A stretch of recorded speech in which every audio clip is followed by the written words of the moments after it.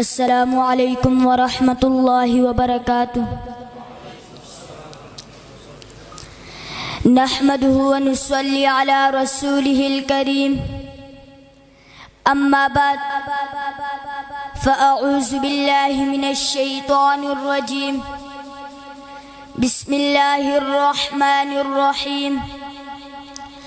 لقد من الله على المؤمنين إذ بعث فيهم إذ بعث فيهم رسولا من أنفسهم. صدق الله العظيم. وقال النبي صلى الله عليه وسلم كنت نبيا وآدم بين الماء والطين. أو كما قال صلى الله عليه وسلم حضور آہے تو سر آفرینش یہ دنیا. حضور آہے تو سر آفرینش پا گئی یہ دنیا۔ اندھیروں سے نکل کر روشنی میں آ گئی یہ دنیا۔ بجھے چیروں کا زنگ اترا، ستے چیروں پہ نور آیا۔ بجھے چیروں کا زنگ اترا، ستے چیروں پہ نور آیا۔ حضور آہے تو انسانوں کو جینے کا شعور آیا۔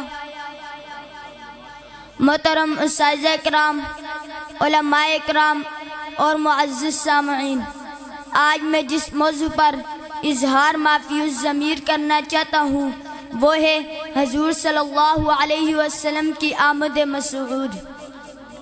سامعین گرامی، تاریخ کے اراغ پلٹیے اور دیکھیے، حضور صلی اللہ علیہ وسلم کے آمد سے قبل کیا تھا؟ ظلم ہی ظلم تھا۔ کفر و شرک کا راج تھا۔ ہر طرف ویرانی ہی ویرانی تھی۔ حکومت شیطانی تھی۔ قتل و غارت گری کا بسیرا تھا۔ معمولی معمولی باتوں پر کٹ مرنا عام تھا۔ بچیوں کو زندہ درگور کر دیا جانا معیوب نہ تھی۔ عورت ایوانوں کی سی زندگی بسر کرنے پر مجبور تھی۔ ہر ایک کا الگ الگ خدا تھا۔ جس کی لاٹھی اس کی بیس کا قانون نافذ تھا۔ الغرض انسانیت تباہی و بربادی کے آخری دہانے پر پہنچ چکی تھی۔ دفعتاً چمن ستانے دہر کی قسمت کا ستارہ حویدہ ہوا۔ حضرت انسان کی خوش بختی کا ثاقب چمک اٹھا۔ ظلمات کو اجالوں کی خبر ہوئی کہ یتیم عبداللہ، جگر گوشیا آمنہ، شاہ حرم، حکمران عرب و عجم، قائد انسانیت، فرمان روائے عالم، شنشاہ کنین۔ بروز پیر، نو ربی الاول، پانچ سو اکتر عیسوی کو عالم قدس سے، عالم امکان میں بے بسر کو با بسر کرنے کے لیے، بے نظر کو با نظر کرنے کے لیے، مردہ دلوں کو حیات جودانی دینے کے لیے قیاسر اور اکثیر کی نخوت کا برم توڑنے کے لیے، سینکڑوں ہزاروں کے پجاریوں کو ایک ایک کے در پر جھکانے کے لیے۔ ملکوں کی دوری اقوام بگانگی اختلاف اور الوان تفریق زبان مٹانے کے لیے سب کی زبانوں پر ایک ہی کلمہ، لا الہ الا اللہ محمد الرسول اللہ جاری کرنے کے لیے قافلہ نبوت کے آخری مقتدہ اور کسر نبوت کے آخری ستون بن کر تشریف لے آئے۔ سامین محترم، آئیے میں آپ کو حروف تعجی کی زبانی میرے آقا نور مجسم فخر دو عالم صلی اللہ علیہ وسلم کی سیرت سناؤں۔ جناب، حضور صلی اللہ علیہ وسلم کی آمد۔ الف نے کہا، اللہ کا رسول آ رہا ہے۔ با نے کہا، بانی اسلام آ رہا ہے۔ تا نے کہا، تاجدار مدینہ آ رہا ہے۔ تا نے کہا سروت والا آ رہا ہے۔ جیم نے کہا، جلیل القدر آ رہا ہے۔ ہا نے کہا، حبیب خدا آ رہا ہے۔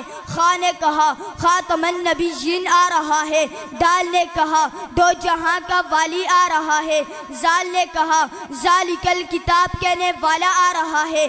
را نے کہا رحمت للعالمین آ رہا ہے۔ زا نے کہا، زمانے کا امام آ رہا ہے۔ سین نے کہا ساکی کوسر آ رہا ہے۔ شین نے کہا شافی میشر آ رہا ہے۔ سواد نے کہا، سوادق و امین آ رہا ہے۔ زواد نے کہا ضعیفوں کا ماوا آ رہا ہے۔ تو نے کہا، طاہر و متحر آ رہا ہے۔ زوا نے کہا، ظلم کا مٹانے والا آ رہا ہے۔ عین نے کہا، عرب کا تاجدار آ رہا ہے۔ غین نے کہا، غریبوں کا ماوا آ رہا ہے۔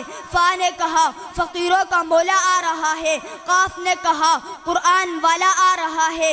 کاف نے کہا، کملی والا آ رہا ہے۔ لام نے کہا لوہے و قلم والا آ رہا ہے۔ میم نے کہا، محمد الرسول اللہ آ رہا ہے۔ نون نے کہا، نبیوں کا سردار آ رہا ہے۔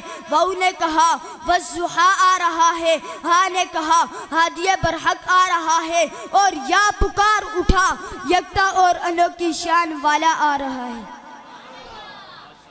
شاعر کہتا ہے، ارباب نظر کو کوئی ایسا نہ ملے گا۔ ارباب نظر کو کوئی ایسا نہ ملے گا۔ بندے تو مل جائیں گے، مولا نہ ملے گا۔